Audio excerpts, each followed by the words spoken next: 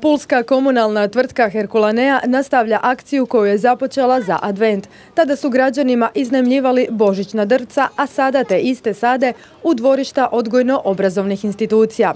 Brojne jelke svoje novo stanište već su pronašle u vrtovima pulskih osnovnih škola, dječjih vrtića, dnevnog centra za rehabilitaciju Veruda i Down sindrom centra Pula. Danas je na redu bila osnovna škola Šijana gdje u sklopu predmeta domaćinstva između ostalog uče i njeguju uređenje okoliša. Koliko i što zapravo za djecu znači ovako jedna praktična, praktična nastava u prirodi? Dakle, nisu samo u školskim klupama i ne čitaju to iz knjiga, nego u istinu to provode. Naravno, znači to je, to je ono najbitniji dio cijelog, cijele ove priče, da oni izađu vani, da su prvenstveno na svježem zraku, ali i da njeguju e, uređenje i važnost uređenja i vanjskog prostora, e, da se upoznaju sa različitim biljem, sa različitim alatima, e, da isprobaju kako nešto posaditi, da isprobaju iskopati rupu, evo napuniti rupu zemljom, tako to je nešto što ih evo čini najsretnijima.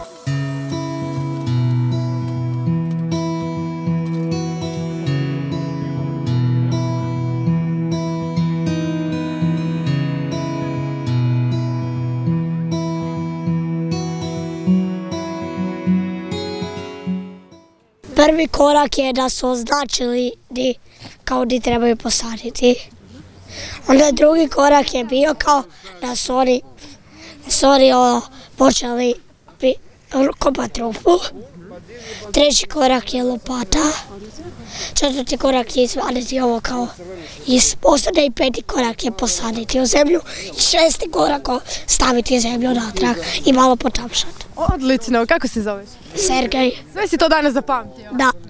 A recite nam, da li vi doma sadite nešto sa roditeljima? Da. da. I posadila sam Mislim, nisam doma, ali sam posadila kod bake. Posadila sam e, e, ljubičice i posadila, i posadila sam e, sa nonom kukuruz. Ja sam kod bake kad sam imala sedam godina, išla sam saditi cvijeće kod bake u vrt i ako baka bude opet išla tamo, onda ću ići s njom i opet ćemo posaditi nešto. Akcija je dio edukacijskog projekta Navike okreni, promjenu pokreni kojim se potiče svjesnije razmišljanje o otpadu. U sklopu istog školi Šijana donirani su i komposteri.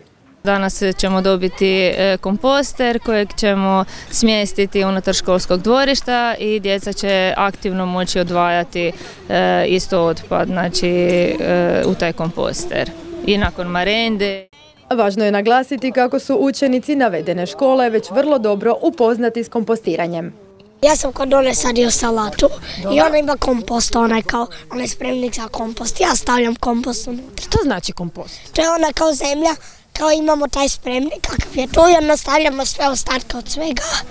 I onda se napravi nekakva zemlja koja se stavlja za posaditi biljke. Odlično. To je jedan način da čuvamo prirodu. Koji su još načini da čuvamo naš okoliš? Ne bacamo smeće. Ne bacamo smeće. Pošumljavamo šumu i da, i da ne zagađamo, da ne, da ne pušimo i da... Ne bacamo cigarete i, i smeće i, smeće, i, staklo i sve, što zagušuje prirodu. Priču o akciji Navike okreni, promjenu pokreni donosimo u srijedu 13. ožujka u 21 sat na programu TV Nove u emisiji Zapadna strana.